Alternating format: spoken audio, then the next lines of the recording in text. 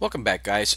Today I thought I'd do a little bit of a um, uh, technology video, but it also has a, a personal connection. Um, some of you may or may not know. Um, you'll notice that lately I haven't been making as many videos as I normally do. Uh, and that's due to the fact that um, maybe a month ago, um, I was diagnosed with atrial fibrillation. Now, if you're not familiar with atrial fib fibrillation, basically um, it's a condition where the upper chambers of the heart don't beat in synchronization with the lower chambers. And um, the symptoms, my symptoms, are pretty pretty severe. Um, I get dizzy, lightheaded, very weak, very fatigued, um, occasionally chest pain. My arms are very, very weak. My uh, my legs can get weak, and that's because the the my heart is not pumping blood throughout my body to the extent that it should be. So I had been diagnosed actually with it um, actually about almost a year ago. Uh, but it it it didn't it went uh, away basically and my heartbeat stayed normal for a while and then maybe about a month ago my heartbeat went way out of whack um, and so I went to the doctor and he told me that uh, I was in full blown AFib and that I would need um, to do something. So now they're in a position where they need to take more measures because my heartbeat is not normal and it's basically refusing to go back to normal on its own. So what they decided on was that I would need to go on a uh, on uh, blood thinners, basically an anticoagulant, because the risk of a stroke and a heart attack is much higher when you're in AFib, because the blood pools in the top chambers of the heart and clots can form.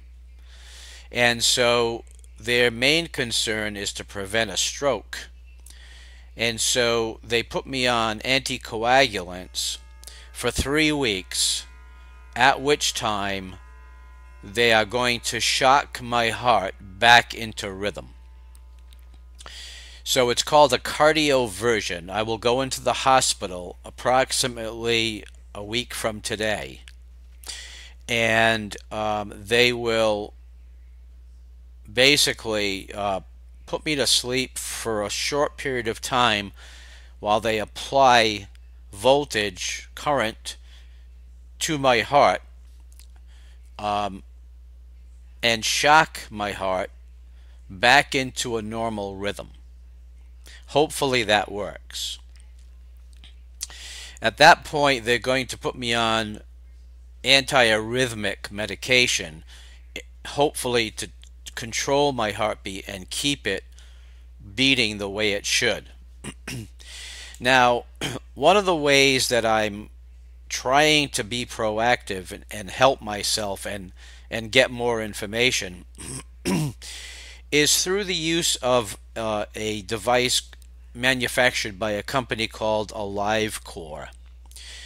Now, there are millions of people who have been diagnosed with AFib, and there are millions more that have it and don't know it. Uh, based upon my symptoms, I know I've had this for many years. I just didn't know what it was. And finally, um, I ended up getting diagnosed because I was in for a routine physical and I happened to have an irregular heartbeat at the time, so they were able to catch it do an EKG and diagnose it. So I was lucky in that respect because once you know you have it, of course, your doctors can now uh, put all their efforts into helping you live with it. So this particular device is useful because it's loaded as an app onto your iPhone or your Android device. And it comes with this little pad configuration here, and I'll show you what that looks like. And basically, you can see in the illustration, you put your fingers on the pad, and it gives you a an EKG in 30 seconds. It also uploads the EKG to AliveCor where they give you their analysis. And then you can also email the EKG to your doctor to try to stay proactive. This technology wasn't available up uh, until recently. You'd have to go into the hospital to have an EKG or they'd have to put a monitor on you at a much higher expense to try to catch your uh, irregular heartbeat to properly diagnose it. So basically, um, I have this Kardia app on my phone. I open the app and you can see where it says record now. So basically you put the pads on the back of your phone, you put your fingers on the pads, and then you press record now, and it gives you a 30 second EKG. And then you can take a look at that. It'll give you um, a brief description of the EKG.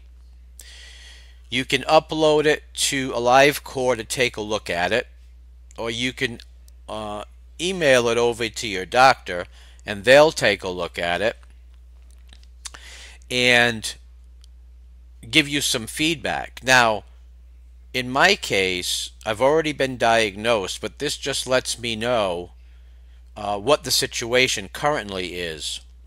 Now you can see I just did one out while I was talking to you and I'm going to show you you can see it says my heart is beating at rest 97 beats per minute which is obviously not good. If I click on the EKG my EKG is all over the place. So you can see on the screen that little orange tells me I have AFib. I'm beating at 97 beats per minute and my heartbeat is extremely erratic. As you can see. So this helps me. Now, the hard part is getting through the three weeks. Um, it's not a comfortable situation because I can feel my heart flip-flopping in my chest constantly. Um, I've been getting a lot of rest, a lot of sleep. As I said, it's the fatigue that's really the biggest problem because I'm normally very active and obviously I can't do a whole lot of walking or exercising um, the way I normally do. So, again, this is a, a personal issue, but there's also a connection to the videos that I make on a daily basis because it highlights technology that's useful in our daily lives. And this is certainly useful technology to me. So, um, if you guys have AFib or you know somebody who does, um, you know, I, I've never had my heart shocked before, so I'm a little concerned about that. But I've done some research, and uh, you know, they knock you out, so I'll be asleep for a few minutes while they do it, and hopefully it'll take care of it, and then they'll put me on medication to try to control it better. That way, I can get back to my normal activities. So, um, guys, that is it for this video. I wanted to make you aware of the reason that my videos haven't been too uh, frequent lately. uh, and also let you know that uh, if you have AFib or you know someone who has AFib, uh, perhaps this new technology from AliveCor can help in your case or uh, the person that you know. So, guys, thank you very much for stopping by the channel today. Please rate, comment, and subscribe, and I will see you soon. Take care.